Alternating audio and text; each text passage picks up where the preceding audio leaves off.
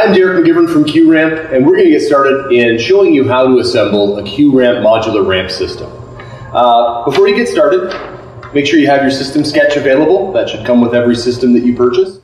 As with any construction project, you should pay special attention to safety. Safety glasses and a pair of gloves are a must for any construction project. I always like to have a couple of tools handy to deal with packaging. In this case, a knife and a set of side cutters. All ramp construction projects, you'll need a level and a tape measure. Now to the tools you'll actually use in assembling the Q-ramp. For all connections on the Q-ramp system, you'll need either a 5 or 6 millimeter Allen wrench or a 13 millimeter ratchet. We recommend long-handled tools for ease of use and to keep your knuckles away from edges. That's it. One of the main things that you want to remember when assembling a QRamp modular access system is that the system is assembled from the platform to the ground. So the platform is installed first, leveled, and then the running sections are installed piece by piece to the ground. Same with the handrail, coming from the platform after the entire structure, substructure is done. You start with the handrail assembly from the platform down to the ground.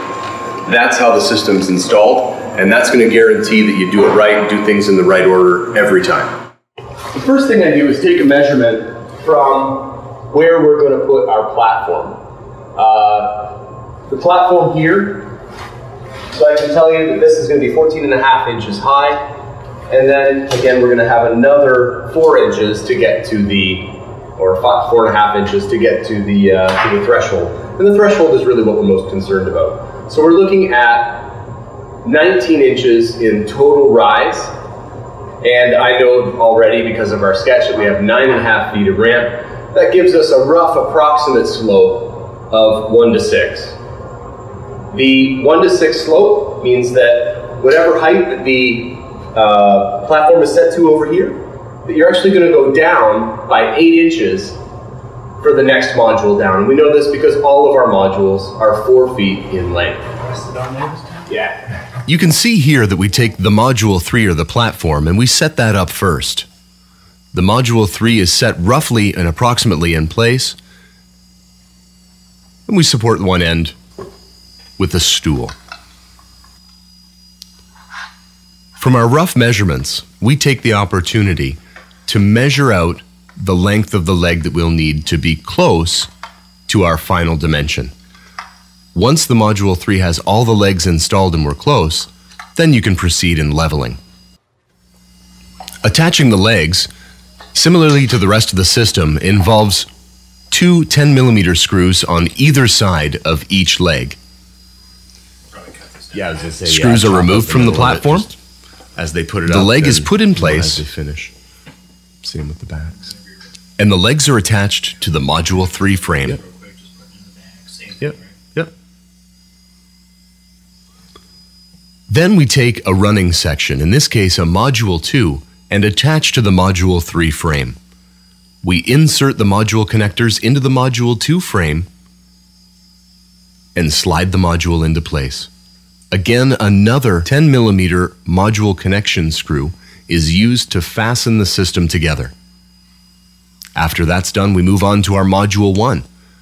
We remove the shipping screws from the module connectors, and then we rotate the legs into place. So now Matt and I, once he's done, we're going to rotate these legs up, but we're going to be careful. The, the tendency is when you rotate the legs up for this thing to slide back down, I want to make sure that this connector in here stays engaged into the side rail.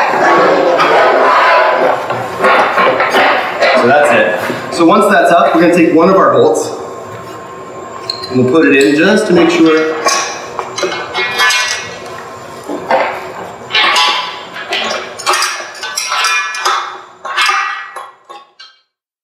We're going to connect the Module 1 running section with the Module 2 that's already installed to the Module 3 platform. Again, it's as easy as inserting the connector into the open space on the Module 2 and bringing the two modules together.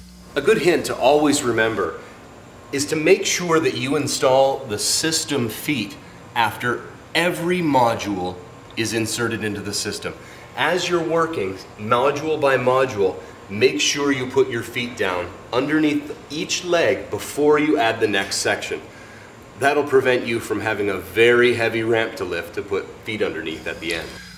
The Module 4 or entry exit piece goes together just like the rest of the system. Two connectors are inserted into the module beam and the modules are connected. One screw on each side of the leg and your system's fastened together. Moving on to the handrail, for platform handrails, it's a good idea to have two people involved in the process. One person holding the large piece of welded handrail assembly and the other putting on at least the first bolt. All handrails are assembled the same way. Most connections are a carriage bolt and a nylock nut. The Module 3 platform has two welded handrail assemblies, the outside or large handrail assembly, and the inside or small handrail assembly. Every section of handrail outside of platforms is exactly the same. The easiest way to put one of these on is simply to start on one side, hook in, pinch, hook in, pinch, hook in, pinch, and same all the way down. Okay, once that's in, you press in the center a little bit. It'll make sure that most of your connections are all engaged properly. And then pull it down. There's, an in, there's a little gap between the top of the leg and the, uh, and the cover. And that just basically tells you where the, uh, where the engineered gap is for the caps to form. So the caps, very similarly, these two tines on the bottom are made to line up perfectly on the inside of this leg. So this lip goes on the outside, those tines go on the inside. Once you put it down like that, that's perfect. Snap it closed. That's it.